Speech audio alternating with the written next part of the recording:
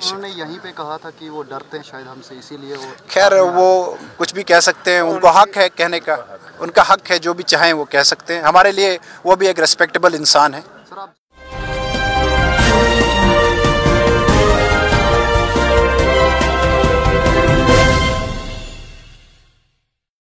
नमस्कार बहुत बहुत स्वागत है आपका पुकार न्यूज़ में। मैं हूँ मीनू शर्मा तो आप देख रहे हैं आज के मुख्य समाचार। आज वकील सईद आसिम हाशमी ने गुंदरा महाला चुनावी क्षेत्र से अपना नामांकन फॉर्म भरा। लोगों का धन्यवाद करते हुए उन्होंने ये बताया कि वे सबकी उम्मीदों पर खरा उतरेंगे। वे एनसी और आईएनसी के संयुक्त उम्मीदवार हैं जो इस बार के डीडीसी चुनाव जीतकर विकास के थमे हुए पहिए को एक बार फिर से चलाना चाहते हैं। शक्तिराज पडियार जी की बात का पलटवार करते हुए उन्होंने ये बताया कि वे कुछ भी बोल सकते हैं। उनकी नज़रों में शक्तिराज पडियार एक सम्मानित व्यक्ति हैं। गुप्कार अलायंस के बारे में उन्होंने बताया कि उसमें कांग्रेस, एनसी, पीडीपी सभी पार्टियाँ शामिल हैं। और ये डीडीसी चुनाव जीतने के बाद उनकी पूरी कोशिश रहेगी कि वे अपने क्षेत्र को तरक्की का एक नया मार्ग दिखाएँ। सबसे बड़ी बात उनने पुकार न्यूज़ के माध्यम से बताई, वो ये है कि दैनिक मजदूर जो अपने हक के लिए सड़कों पर आ गए हैं, उनके साथ बहुत बड़ी नाइंसाफी हुई है। अगर वे सत्ता में आ जाते हैं तो वे दैनिक मजदूरों की समस्या का कोई न कोई हल ज़रूर निकाल लेंगे। इसी प्रकार अपने क्षेत्र के समाचारों से रूबरू होने के लिए जुड़े रहिए पुकार न्यूज़ के साथ। फ़िलहाल इस समाचार को और विस्तार से जानने के लिए आइए देखते हैं महाला से हमारी संवाददाता अंजना ठाकुर की ये रिपोर्ट। किया है? आप पहले यहाँ पे जनरल पब्लिक को क्या मैसेज देना चाहते हैं? जनरल पब्लिक को मैं सबसे पहले उनका शुक्रिया अदा करना चाहता हूँ कि उन्होंने मुझे इस लायक समझा और मेरे कांधे इस लायक समझे कि मैं ये ज़िम्मेदारी उठा सकूँ इनकी। इनका बहुत शुक्रगुजार हूँ। और जो इनकी जो जो चीज़ें सोच के इन्होंने मुझे इस लायक समझा है मैं कोशिश करूँगा कि इनकी- उम्मीदों पे पूरा उतरूँ। सर क्या गुप्कार अलायंस सिर्फ़ दो ही पार्टियों का है? नहीं सभी पार्टियों का है।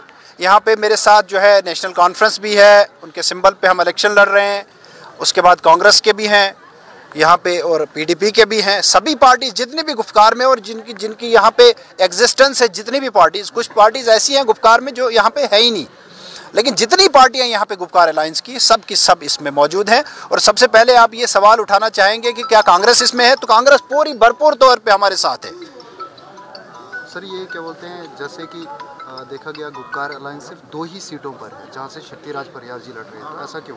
नहीं वो खैर ये ज़रूरी नहीं है कि शक्तिराज परियार साहब कहीं फ्रेंडली कंटेस्ट भी होता है। कुछ सीटों पे फ्रेंडली कंटेस्ट कर रहे हैं कि उम्मीदवार उठ गया है। अभी वो उन सीटों पे ज़रूरी नहीं है कि सभी लड़ेंगे। हो सकता है उसमें विड्रा भी कर जाएँ कुछ लोग।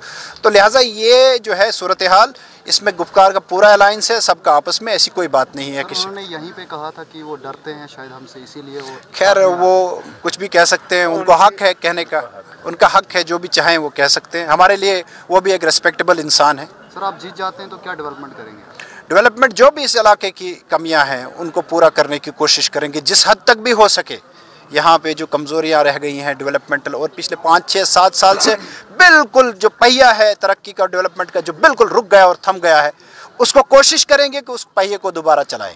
कांग्रेस और एनसी ने एकजुट होकर क्यों ये इलेक्शन वो तो पूरा पार्टी का फैसला सभी पार्टीज़ का आपस में फैसला है। सभी पार्टीज़ ने आपस में फैसला किया कि हम एकजुट होके ये इलेक्शन लड़ेंगे क्योंकि इलेक्शंस का जो प्रोसेस है वो भी बड़ा अजीब सा था। हमें खबर भी नहीं थी इन पार्टीज़ को कि ऐसा कोई प्रोसेस होगा। तो इतनी जल्दी में उनको तो खबर थी। हमको खबर नहीं थी तो हमको जल्दी में ये करना पड़े। सारे रोड पर जी। लेकिन उनको कोई भी पार्टी समर्थन में नहीं। देखें डेलीवेजर्स का जहाँ तक ताल्लुक है तो उनके साथ झूठे वादे किए गए पिछले कई सालों में।